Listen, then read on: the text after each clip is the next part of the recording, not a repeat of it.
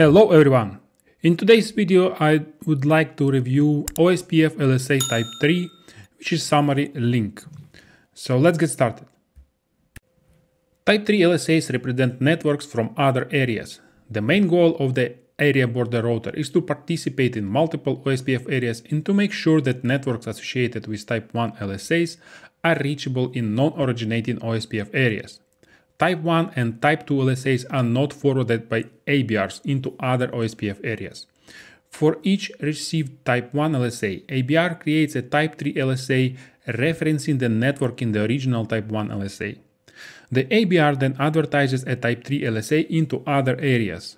Upon receiving Type 3 LSA from the backbone area, area 0, ABR generates new Type 3 LSA for the non-backbone area and lists itself as the advertising router with the additional cost metric.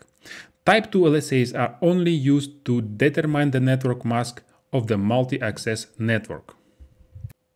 Let's review this example.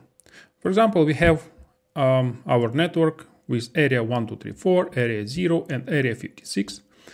These two routers are ABR routers and let's see uh, let's say that area 1234 generates type 1 LSA R4 receives type 1 LSA, creates um, LSA type 3 and forwards to R5. When R5 receives type 3 LSA, it creates type 3 LSA, lists itself as the originating router, add metric cost for this network to metric cost for, for original type 1 LSA and forwards it to R6. For area 0,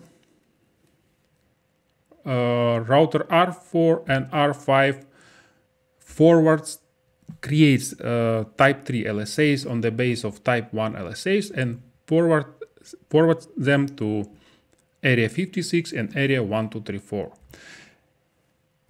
And for area 56, the same like for area 1234, R6 creates type 1 LSA forwarded to R5, R5 receive, receives type 3 uh, type 1 LSA, creates type 3 LSA and forwards it to R4. R4 receives type 3 LSA from R5, creates type 3 LSA, lists itself as the originating router, adds to this metric metric for area 0 to this LSA and forwards type 3 LSA into area 1234.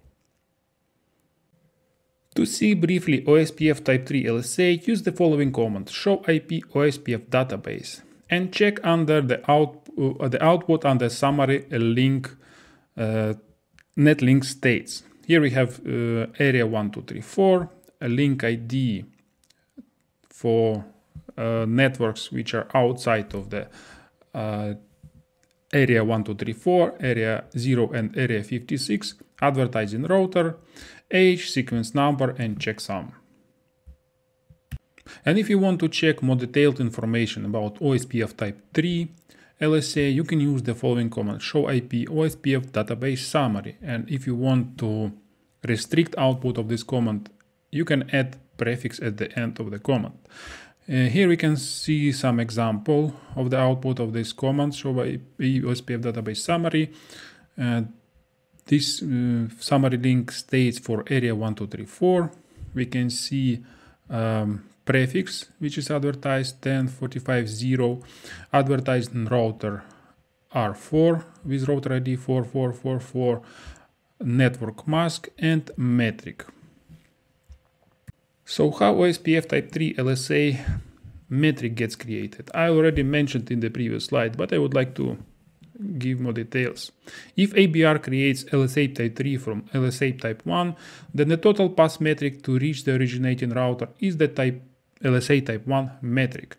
For example, uh, R6 creates LSA type 1 for area 56 with metric 1. R5 on the base of this type 1 creates LSA type 3 and the met total pass metric for this LSA type 3 is going to be metric 1 from type 1, let's say type 1, original. If ABR creates LSA type 3 from LSA type 3 from OSPF area 0, then the total pass metric to reach the originating router is the total pass metric to the ABR plus the metric in the original LSA type 3. Let's say again, R6 creates LSA type 1 with metric R uh, with metric 1, R5 creates LSA type 3 from LSA type 1 with metric 1, sends to area 0, R4 receives this LSA type 3 and creates again LSA type 3 and lists itself as originating router, but metric for this uh, total pass is gonna be metric 1 from LSA type 3 from R5 plus, plus metric 1 from area 0.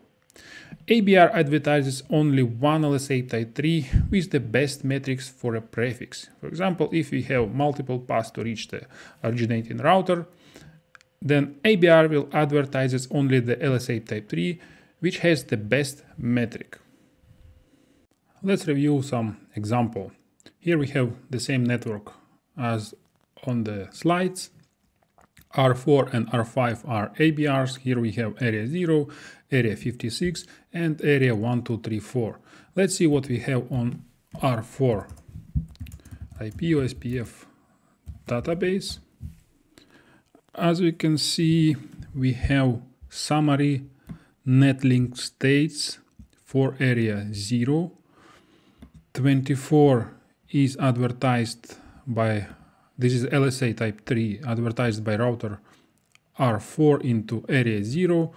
56 is advertised by router R5 into area 0 and uh, network um, 123, 123 advertised by router R4 into area 0.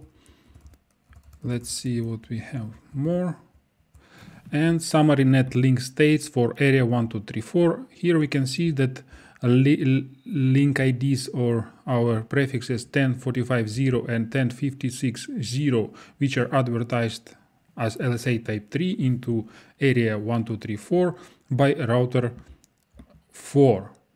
Uh, uh, here we can say that this LSA type 3 was generated by R5 and then uh, router R4 creates LSA type 3, lists itself as router originating router and also increased metric.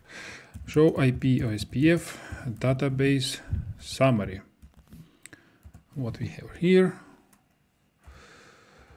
Let's see, for area 0, let's, for example, we have link state, this uh, prefix 10240, this uh, uh, network connected to R4, advertising router R4, it advertises this LSA type 3 into area 0 network and metric for this net network.